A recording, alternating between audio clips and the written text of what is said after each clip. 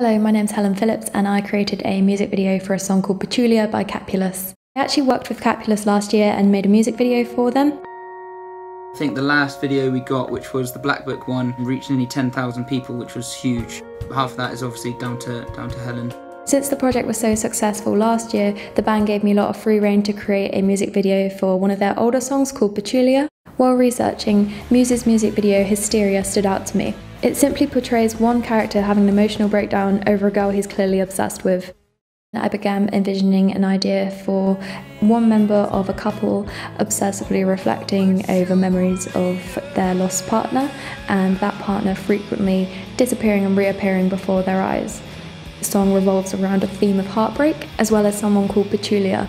What she symbolises remains completely ambiguous. I never fully revealed whether she's a figment of the character's imagination or if she is real.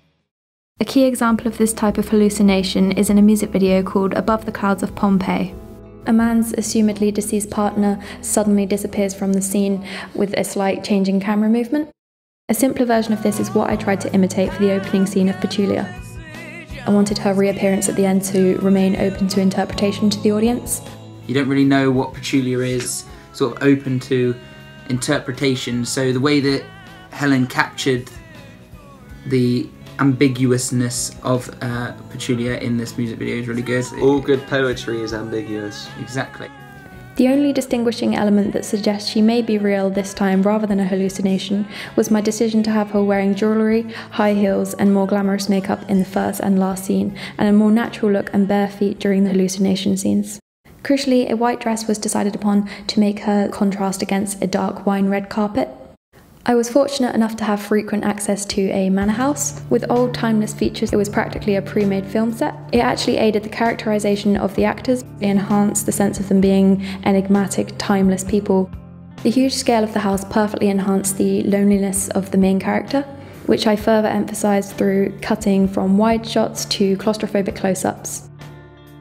I sent a form of treatment to the band and gave me the green light to begin storyboarding. The whole time we worked with Helen, she was giving us briefs, giving us a storyboard, exactly what we're doing every step of the way. Use her in the future, 100%. We've used her twice now. Well, is the second time, and we think that our styles and that gel really well. Um, she likes to work with um, topics that aren't completely clear cut and straight down the middle. Um, so, a lot like us, we like to write songs that aren't necessarily as simple as what they say on the tin. They like to have separate meanings, and I think that's what she does in her filmmaking. As a filmmaker, I have to bring visuals which work rhythmically and aesthetically, partly by creating turning points in the narrative and increasing the pace as the music reaches its crescendo.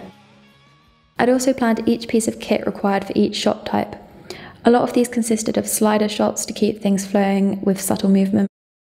I found the greatest element of collaboration to be with the actors. I cast Justin Wright as the main character. I knew his mannerisms well enough to know he'd fit the role perfectly. Prior to shooting, Helen showed me the shot list. Yeah, they actually sped the whole thing up and showed that Helen's foresight and planning increased the efficiency greatly.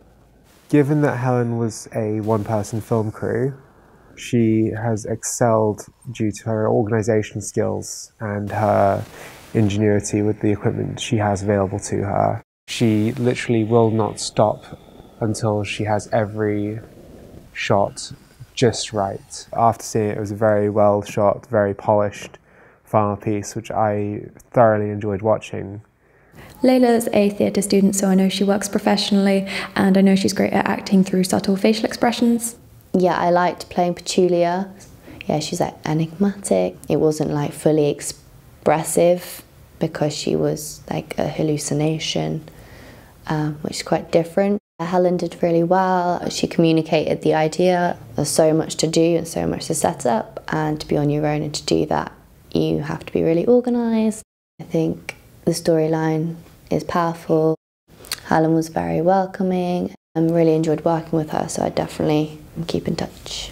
Since the band and I feel our styles complement one another, we feel we'd be more than happy to work together in future. So I really enjoyed the uh, story that you got in this video. I think the cinematography is brilliant. The shots, the lighting, it's all really well done. I thought it was quite haunting. We love her work, so we Yeah, were absolutely happy. And, uh, And this is definitely going to help boost our profile again. and obviously, as we progress as a band, we'd like to keep her involved with it and, and, and keep it going. So it's all good. Thank you.